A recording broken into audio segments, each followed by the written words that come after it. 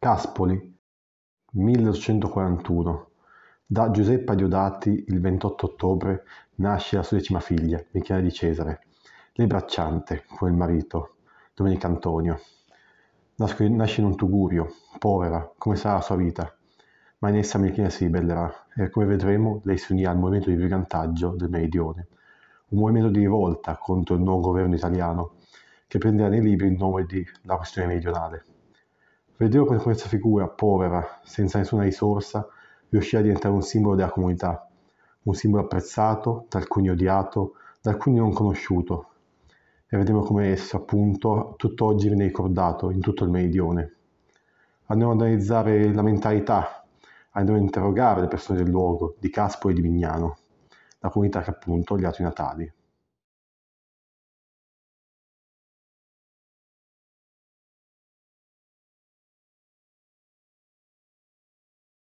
Iniziamo il nostro racconto contestualizzando dove ci troviamo.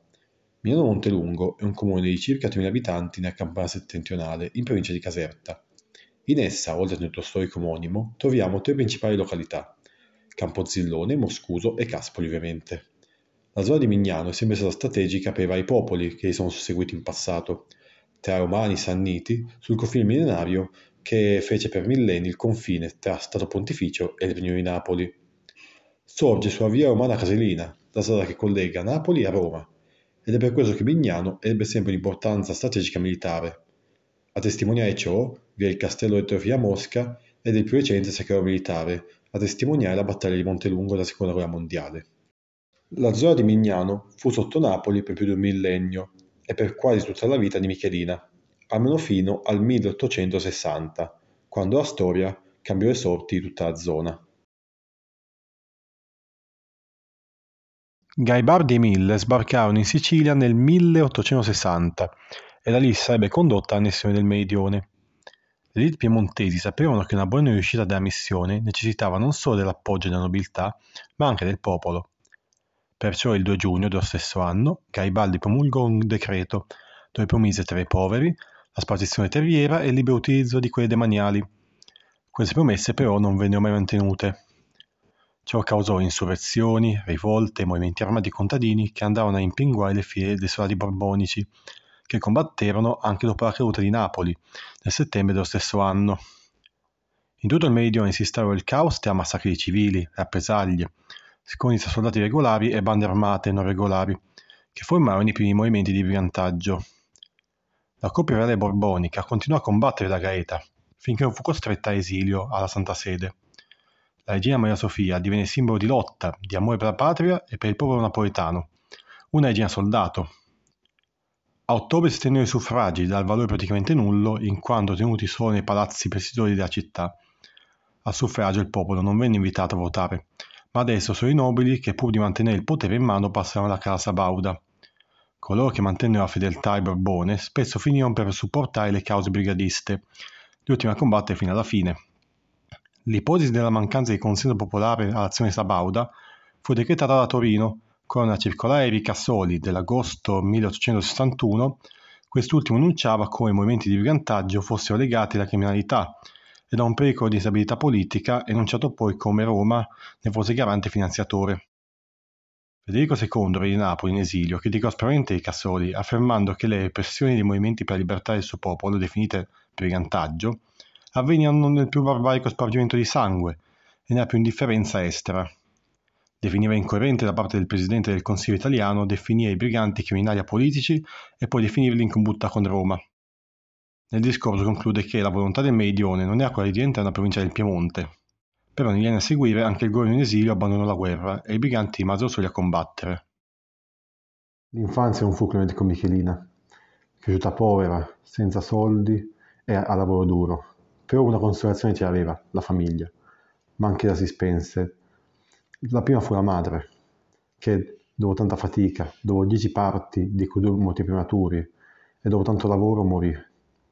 E lasciò la casa, al lavoro delle tre sorelle, lei più due sorelle maggiori, Maria e Tommasina. Quelle due poi, quando aveva 16 anni Michelina, se ne andarono, avevano tutto marito, e quindi la lasciarono da sola a badare ai cinque fratelli al padre. Quindi nel 58 Michela doveva cucinare, pulire casa e e bada in generale a tutto ciò che una donna doveva fare all'epoca, purtroppo i lavori donneschi, come si chiamavano all'epoca. E quell'anno andò via pure il padre in quell'inverno freddo, siamo tubercolosi, la morte dei poveri, e quindi lei rimase veramente sola con i suoi fratelli. Dicevano di sposarsi, ma lei non voleva sposarsi, non voleva passare da una prigione all'altra. Se doveva fare la serva, almeno aveva fatto per la famiglia e non per un marito. Questo danno è anche dovuto al fatto che lei non riusciva a dare figli, rispetto alla sorella Tommasina che ne diede due. Lei e la sorella Maria erano delle donne mancate, veniva detto. Non importava quanti sacrilegi, quanti malocchi venissero curati. Tutto ciò rimanevano infertili e ciò era una grande onta per la famiglia. Quindi lei, sotto pressione della famiglia o per un lavoro migliore nei campi a pascolare il gregge, decide di sposare nel 60 Rocco Zenga, un marito che gli diede una casa migliore, però si era molto in povertà, e li trasferì lì, fin quando anch'esso morì, l'anno dopo, anche su per malattia. Possiamo vedere come vita di Michelina seguirono morte, povertà, una morte che non ci deve stupire, in quanto sappiamo bene che ai tempi la medicina era quella casalinga e le malattie, la povertà e il forte lavoro non permettevano una lunga vita. Quindi la vita di Michelina si può vedere come una serie di fallimenti dovuti alla sua condizione sociale. Ed è per questo che lei, frustrata, triste, solitaria, cercava un, cercare un scatto futuro nel brigantaggio. Il nuovo governo italiano introdusse una forte leva militare che obbligava più di 40.000 soldati del sud a rientrare nell'esercito italiano. Ciò era troppo duro da sostenere per le famiglie del sud, famiglie povere che hanno bisogno di uomini nella terra, di lavoratori, di braccia per il lavoro. Ciò, insieme a promesse non mantenute, allo sfruttamento della terra e a un governo dittatoriale del meridione, riscattò in rivolte, in movimenti appunto di brigantaggio. Lo stesso fratello di Michelina, Domenico, si unì ai briganti, insieme alla banda di Guerra, Francesco Guerra, un ex soldato che combatté nel Volturno sotto la corona borbonica.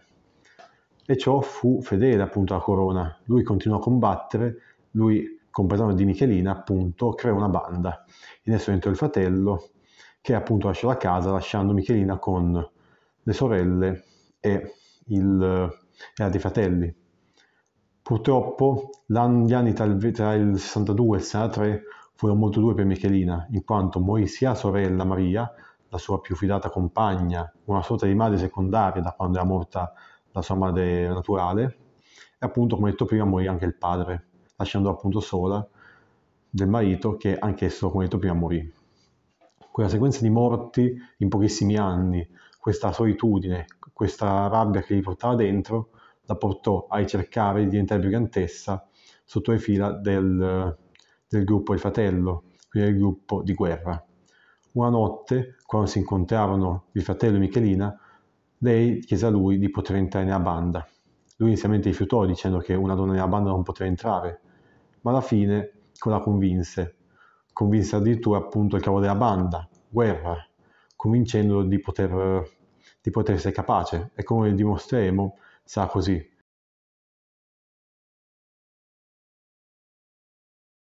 Un giorno Domenico andò a casa della sorella Tommasina e con loro via anche Michelina. Quest'ultima chiese al fratello di poter entrare nella banda. Domenico la scoraggiò, ma ciò non la fece demordere. Michelina aveva fame di libertà, di vendetta e di riscatto, ma soprattutto di vita, una vera vita. Guerra fu molto reticente nel far entrare nella banda una donna, ma dovette credersi.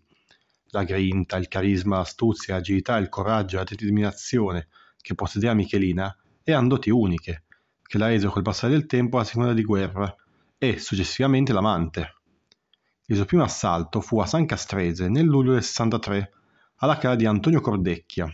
Quest'ultimo era il classico obiettivo della banda, unico cavallo che, sposando l'unità e tradendo lo Stato napoletano, salì sul carro dei vincitori, lasciando il suo popolo nella povertà. Sotto i di Michelina, la banda si vestì come le guardie sabaude, e grazie a ciò la razzia andò a buon fine. Alla fine dell'assalto dispersero per le vie del borgo parte del bottino e si dispersero. Lo stesso giorno, seminati suoi sabaudi, si rifugiarono dal prato locale. Per comprendere la storia di Michelina dobbiamo parlare delle testimonianze, per esempio quella di Giuseppe Decina del 1865, cioè di uno dei rapiti della banda di guerra, e di altre che ci raccontano non solo il funzionamento di quest'ultima, ma anche la morale, i pensieri e le motivazioni dei briganti. Nella deposizione effettuata dopo il rapimento da Giuseppe, quest'ultimo ci racconta che il suo rapimento avvenne con un pedinamento ed un assalto congiunto di due bande, quella del brigante fuoco e quella di guerra.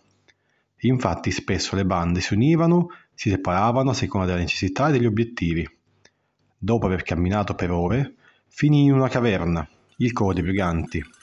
In essa, barili per bere, un pentolone per mangiare e dei pagliarici per dormire. Ci racconta di un freddo pungente, di un grande supporto locale tra i cittadini e prelati per l'approvvigionamento di cibo e alcolici. Ci racconta di come i briganti ci potessero anche essere prostitute. L'unica donna a non esserlo nella banda è Michelina. Altre testimonianze raccontano che all'interno della banda vi ci fosse un codice d'onore. Non si toccavano bambini e donne. Rapimenti, uccisioni e rapine venivano effettuati solo a persone benestanti, che erano tali grazie allo sfruttamento dei cittadini ed alla collusione col governo italiano. In caso di innocenti coinvolti si cercava di risparmiarli. In caso di cattura di un sospettato si eseguiva internamente alla banda un processo anche con testimoni. Dopo una razzia veniva sparsa parte della ricchezza nel paese e poi si avveniva la dispersione della banda, per poi incontrarsi in un luogo prescelto. La conoscenza cristiana di quei luoghi giocava a loro favore in fughe ed imboscate. Vi era supporto non solo locale, ma anche da parte di Roma di ex nobili fedeli alla monarchia napoletana, come il duca d'Alessandro, principale fautore delle rivolte molisane. Il generale Cadorna definisce così i briganti. Leggerissimi nella persona, celi nel piombare improvvisi, celi negli inseguimenti, nelle fughe, esperti con armi e di conoscenza dei luoghi, da non sottovalutare. Il brigantaggio, quindi, è una realtà ben più complessa di come spesso narrata. Venivano attuate distruzioni di case, archivi, ma anche furti, sequestri, estorsioni, uccisioni ed altri atti di guerriglia a danni dello Stato, della nobiltà, dei traditori, delle spie e dei sfruttatori della gleba nullatenente. Il 15 agosto del 63 lo Stato corse ai ripari e per stroncare il fenomeno del brigantaggio una volta per tutte introdusse la legge Pica.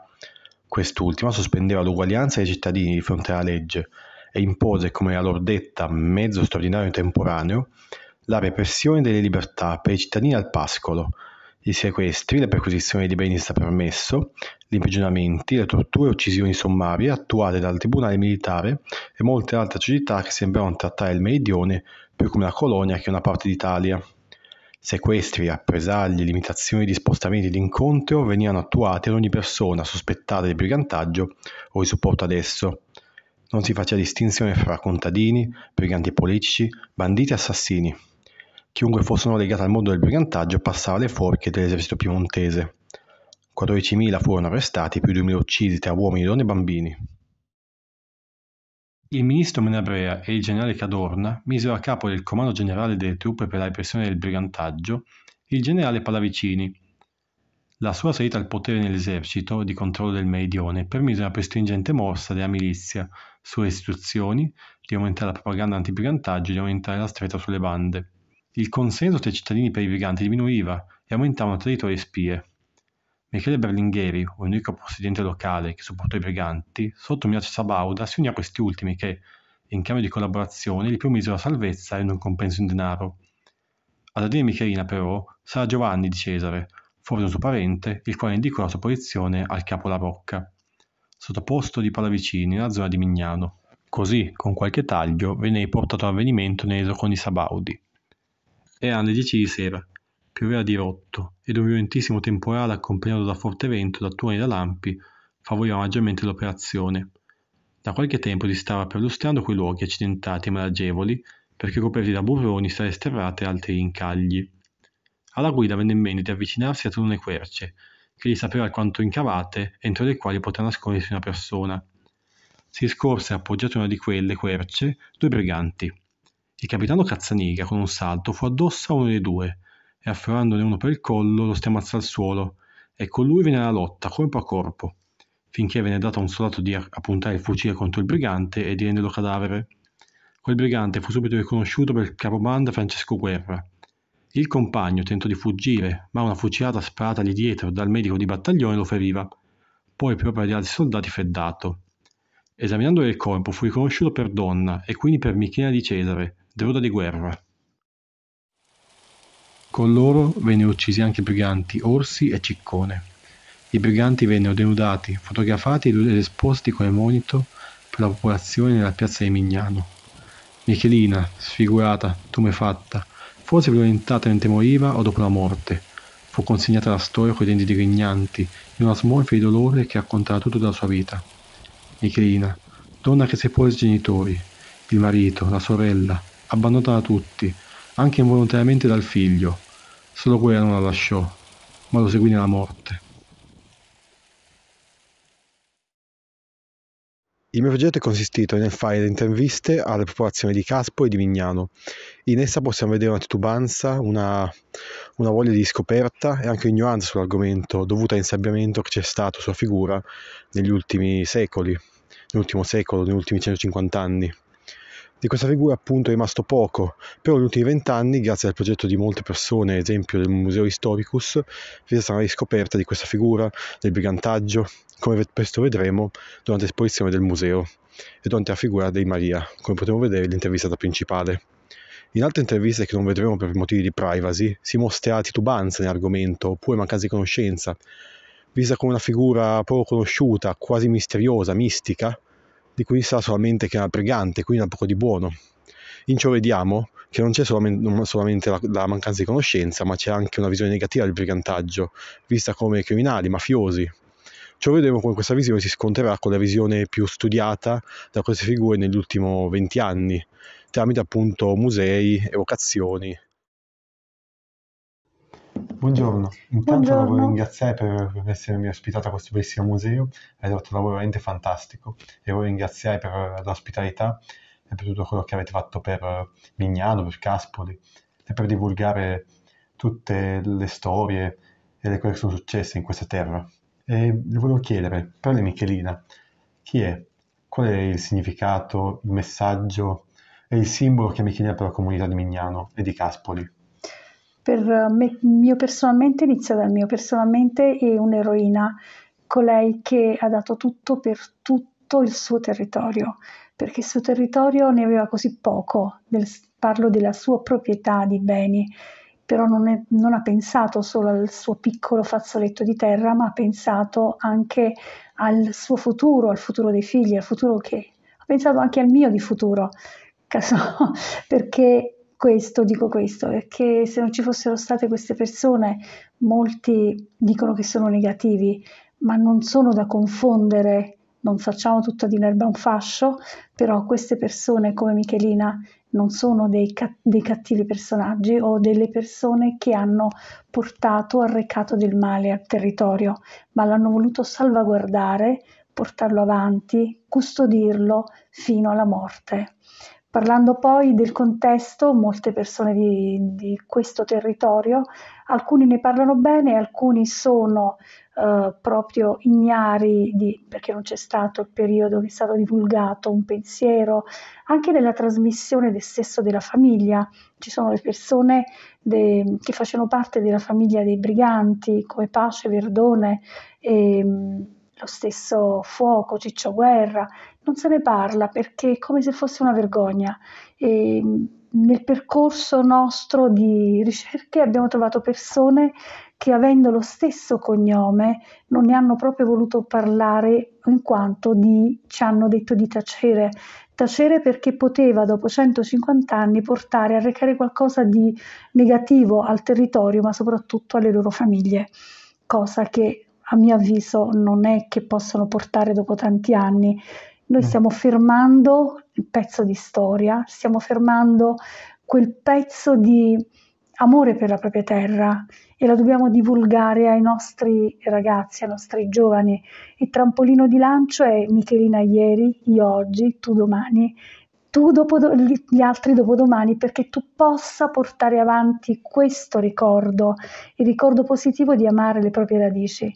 E se, come dico sempre, il terreno, non, la, la terra non ha eh, confini, la natura non ha confini, Madre Natura non ci insegna ad avere dei confini, Madre Natura, la pianta se nasce sul confine tra, tra virgolette, il confine che ha messo l'uomo, non dice lì non è il mio territorio, torno indietro, la pianta continua a ramificare, a ramificare appunto nella terra che il Signore gli ha dato e noi dovremmo essere questo, la libertà di andare avanti, di poter portare queste radici che stesso dalla natura ci porta la pianta a ramificare altrove e non por- passare messaggio negativo, perché anche io ho i miei messaggi negativi col mio modo di fare, per chi mi guarda con un occhio diverso. Concordo con lei quando dice che le persone sono omertose nel parlarne, in quanto intervistando persone anche del luogo hanno o appunto non coscienzione dell'argomento oppure titubanti nel parlarne in quanto timoriti. Ciò secondo me è dovuto al fatto che c'è poca divulgazione, ce n'è stata poca, oppure c'è stato proprio un uh, vero e proprio oblio della memoria da parte del governo italiano nel passato? Io direi, a parte del governo italiano, penso che si parta proprio dall'interno della famiglia, perché qui in questo paese c'erano appunto diversi briganti e questi briganti vivevano qui, di conseguenza i figli, i nipoti hanno cercato di non trasmettere alle nuove generazioni parlo di nuove generazioni, le persone di 70-80 anni di allora, che io cioè allora generazioni eh, nuove, ma ora sono le persone più anziane e molti non ne sanno niente di questa cosa perché in famiglia non se ne parlava, diciamo un po' una sorta di omertà perché ci si vergognava di avere un genitore, un fratello, una sorella, un qualcuno della famiglia che faceva parte dei briganti, anche perché siamo stati messi in cattiva luce. Molti non hanno capito che stavano eh, proteggendo il proprio territorio. Alcuni hanno preso la parte brutta dei briganti, si ammazzava inutilmente, ma non è che ah, dicendo questo sto dando la, che hanno fatto bene ad ammazzare.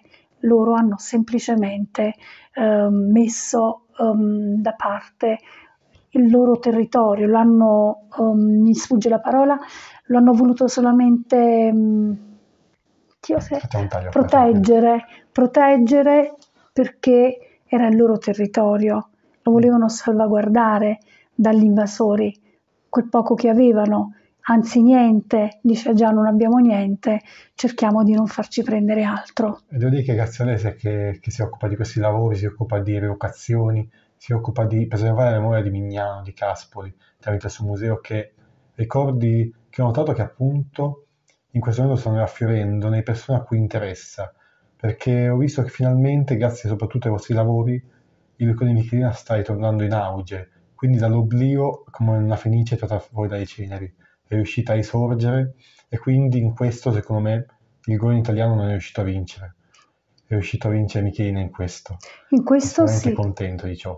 E ha vinto Michelina, ma ha vinto il territorio e ha vinto la verità. La verità, la verità che molte verità sono ancora nascoste e c'era un piccolo aneddoto che una mia zia era la nipote di Alessandro Pace, mi raccontava nei piccoli eh, dettagli quando eravamo insieme da sole e lei mi diceva mio padre e il mio zio hanno litigato perché Uh, per una stupidaggine. Mio padre beveva e a molte volte vedeva delle cose che non erano veritiere e che faceva? Se la prendeva con mio fratello, diceva ah, tua mamma è una di quelle, una drude perché se ne va in montagna a portare da mangiare, uh, va insieme ai briganti. E il fratello che non aveva bevuto e sapeva che la mamma non era un brigante, non era la mantenuta, la, la druda di, di, un brigante, ma era la mantengola del, del suo fratello.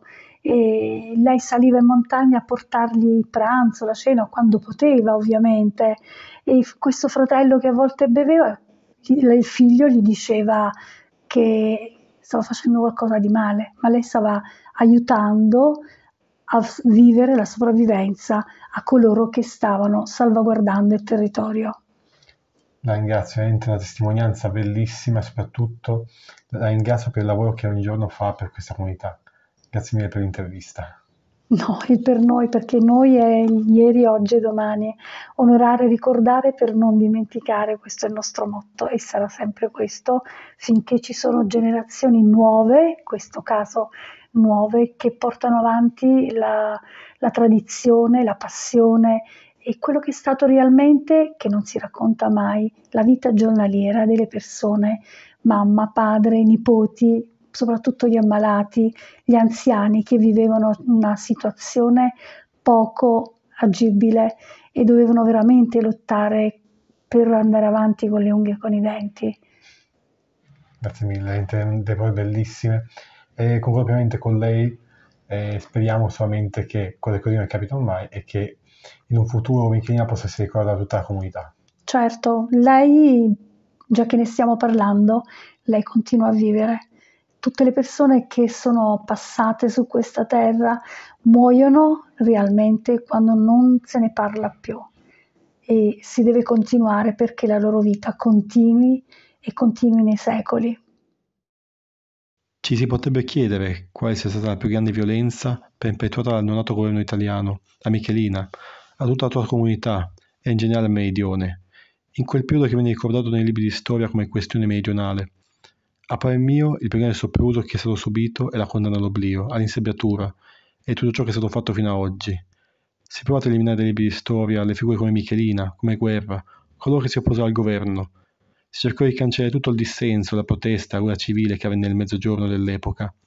Si cercò di omologare l'idea di unificazione d'Italia nel popolo, facendola passare come una richiesta unanime in tutta la penisola. Questo è il ricordo di colei che combatté per i propri valori, con le unghie e con i denti si aggrappò alla propria voglia di libertà, alla voglia di vivere una vita che non fosse quella prescritta da una società che la obbligava a spaccarsi la schiena nei latifoni di un signore della corona sabauda, che l'avrebbe costretta a vivere una vita misera, probabilmente a morire giovane di una cosiddetta malattia dei poveri e a diventare l'ennesimo nome anonimo di un eclogio parrocchiale.